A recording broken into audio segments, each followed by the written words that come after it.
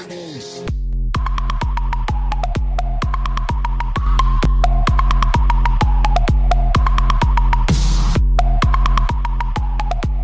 Hello everyone. Welcome back to my channel. If you are new to this channel go also check out my another video on science and concept which was the first video. I included a lot of questions in that and a lot of people also recommended me that i should only add a question at a time. I am with one question which is why loads or give out bubbles when we add Mentos to it? So do you have any answers for that? I know many of you may have seen it practically or you may have heard about it. But today we are also going to see it practically and we are also going to understand that why is that so? Why bubbles form when we add Mentos in it? Okay. So if we want to go in deep with something to know about what is going into that means what kind of reaction is going to take place or what is what is the reaction that is taking place we must know the components that particular thing has. So if we go with coke coke is merely made up of carbonated thing. It is just made up of co2 but in aqueous form. That means it is dissolved in the solution. It is not free. It is not a gas. Now what uh, is mentos made up of? What component does mentos has? It is also simple. It is just made up of few sugars like sucrose and starch.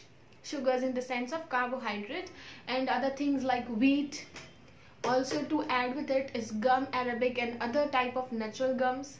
So this is the component of mentos and uh, coke which is carbonated purely carbonated. It just has water and co2 in it. Co2 in aqueous form. How is that possible? Co2 is a gas. How they bring it in an aqueous form means in a form of a solution. So when you give a lot of pressure to a student to learn what would they do? But obviously they would learn okay?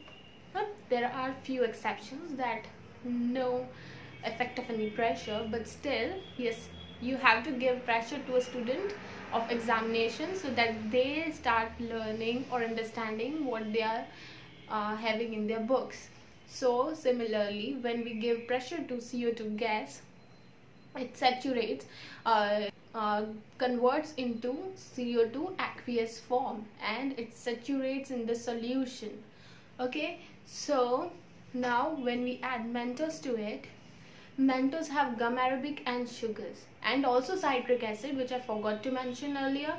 Citric acid from lemon orange or strawberry or any other fruits which have vitamin C in it. So finally when we add Mentos to Coke what happens? Is it a chemical reaction or something else? So for a chemical reaction what do we need? For a chemical reaction we need chemicals to react with each other. But there is no such chemical reaction going around. How can we know that? It is very basic thing.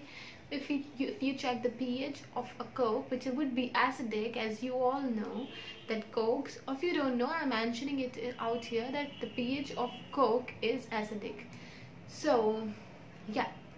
If we measure the pH it would be acidic earlier too when we add Mentos to it.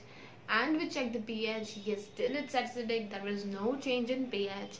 So that means there is no chemical reaction going around.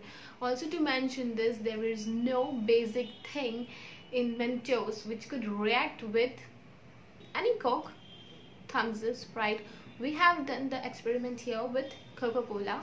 If not chemical reaction which other kind of reaction it could have? See bubbles are forming. So it could be something related physical appearance right?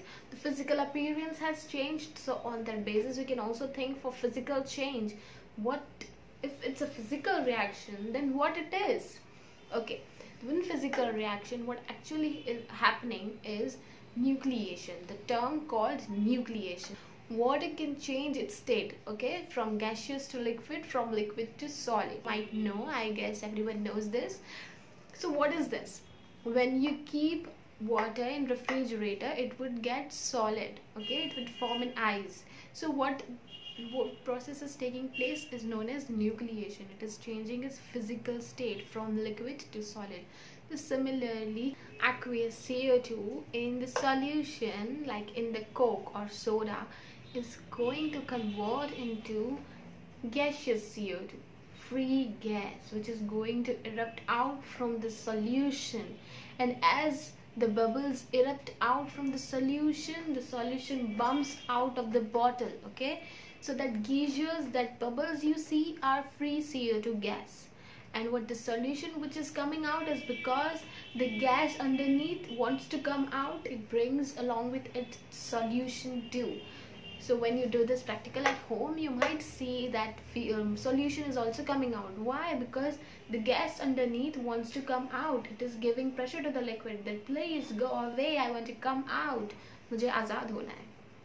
like it also needs independence.